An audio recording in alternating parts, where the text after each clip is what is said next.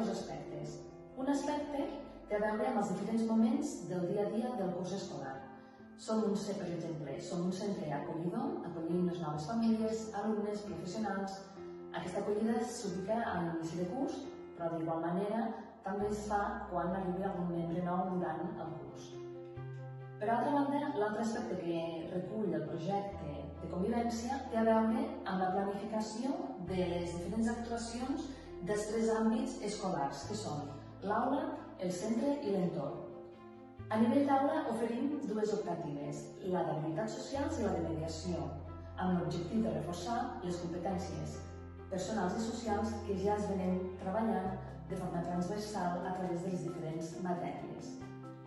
A nivell de centre oferim el servei de mediació, amb l'objectiu de promoure la resolució de conflictes eh, del dia a dia de manera dialogada. En una trobada de mediació eh, es dona un procés de comunicació a través del qual les dues persones implicades en un conflicte poden eh, aportar el seu, el seu punt de vista, poden compartir inquietuds, poden compartir les seves necessitats amb l'objectiu d'arribar amb l'ajuda d'una persona, d'una tercera persona neutral, que és el mediador o mediadora. Uh, I per últim, a nivell d'entorn, de, oferim el servei comunitari a l'alumnat de quart d'ESO a través de la metodologia d'aprenentatge per servei.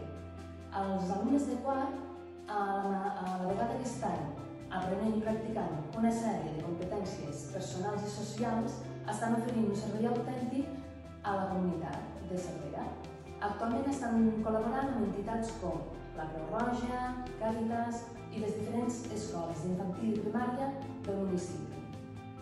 Per últim, comentar que estem molt satisfets de formar part de la xarxa de centres per la convivència i de poder eh, aplicar el programa Happy des de les diferents tutories de, de l'AESO per treballar les competències emocionals.